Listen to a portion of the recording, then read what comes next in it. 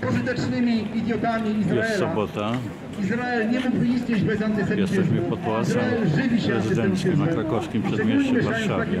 jak Polska, i jest taka, że wbrew temu, co stara się wietrz właściwie który pokazuje który nie ma żadnych argumentów na popełniane przez siebie ludobójstwo. Tego ludobójstwa. Poza tym, że cały czas tego nawoływania ludowójstwa, demonstrantów ale przede wszystkim propalestyńskich demonstrantów mówiłem kilka dni temu, że mi jest ciężko chodzić z obrazami, ze zdjęciami około do tej pory 20 tysięcy Palestyńczyków, którzy zostali zabici przez wojska izraelskie, cywilów, którzy zostali zabici przez wojska izraelskie. Tu jest lista ofiar izraelskich ataków w strefie gazy. Tu są nazwiska. To nie są liczby, to są ludzie, którzy czuli, czują wśród nich około 6 tysięcy, 6 tysięcy dzieci. Do dnia dzisiejszego jest 20 tysięcy. Kilka dni temu jeszcze było 16 tysięcy ofiar. W tej chwili nie ma na to naszej nie zgody i nigdy nie będzie na to naszej zgody. Blisko, ciężko, ciężko Kiedy będzie tych nawet oficjele ONZ mówią, że w Palestynie dochodzi do ludobójstwa. Pełny raport tutaj. że jest to książkowy przykład ludobójstwa. Z naszego punktu widzenia chcemy powiedzieć, że jest to ludobójstwo wpisujące się Tak w całą historię Tutaj się pełni kolonializmu. raport, pełni raport. I tak jak w wielu miejscach na świecie upadły Tutaj- kolonialne reżimy, To są tak też w Palestynie musi upaść izraelski reżim kolonialny, ci, tak żeby każda osoba mieszkająca na ziemi palestyńskiej wojny, była tak samo warta, miała takie same prawa, była po prostu takim samym równym człowiekiem. Palestyna równych ludzi jest warunkiem tego, abyśmy mogli żyć w świecie równych ludzi. Nie będzie prawdziwie wolnego świata bez wolnej Palestyny. Nie będzie prawdziwie wolnego świata przy istniejącym kolonializmie, apartheidzie i opresji. Dzięki bardzo.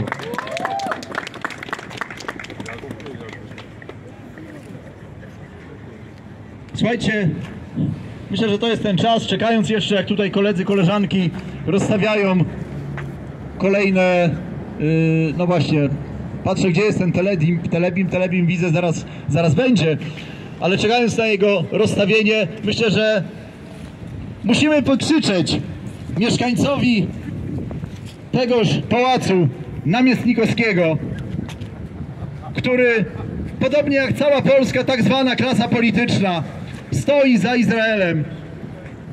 Pałac Kultury był podświetlany w izraelskich barwach. Nie widzieliśmy żadnych flag palestyńskich na polskich urzędach. Nie, nie widzieliśmy palestyńskich barw podświetlanych gdziekolwiek. I to jest absolutna hańba. Te podwójne standardy są tak kłujące w oczy na całym świecie, że nie może nas nie być pod siedzibą, przynajmniej teoretycznie, najwyższej władzy w Polsce, czyli pod Pałacem Prezydenckim. Prezydencie Duda, nie może być wolności, nie może być wolnego świata bez wolnej Palestyny. Wolna, wolna Palestyna! Wolna, wolna Palestyna! Wolna, wolna Palestyna! Wolna, wolna Palestyna! Wolna, wolna Palestyna! Wolna, wolna Palestyna! Wolna, wolna Palestyna! Wolna, wolna Palestyna! Wolna, wolna Palestyna! Super. Widzę chyba wszyscy dzisiaj po polsku mniej więcej mówią, yy, chciałem powiedzieć po polsku, czy ktoś nie mówi po polsku. Someone is not speaking Polish here? Okay, so we can chant today our slogans in Polish and in Arabic, of course in solidarity with Palestine. Także tak, Tetkela Barabija, nie wiem, po arabsku tutaj yy, też niektóre osoby mówią i hasło فلسطين حرة حرة فلسطين حرة حرة فلسطين حرة فلسطين حرة حرة فلسطين حرة حرة فلسطين حرة حرة فلسطين حرة حرة فلسطين حرة حرة فلسطين حرة حرة فلسطين حرة حرة فلسطين حرة حرة فلسطين حرة حرة فلسطين حرة حرة فلسطين حرة حرة فلسطين حرة حرة Horra, horra! Palestine, hurra, hurra! No super, słuchajcie, Zimno jest strasznie. jak na ale- prawdziwych internacjonalistów przystało, kiedy mówiłem o tym, że nasze demonstracje mają też antyrasistowski charakter. Prawda, nie pamiętam demonstracji w Polsce przy całej islamofobii, przy całej pogardzie wobec ludzi z, z tak zwanego Bliskiego Wschodu. Mówię tak zwanego, bo sama nazwa Bliski Wschód jest bardzo europocentryczna.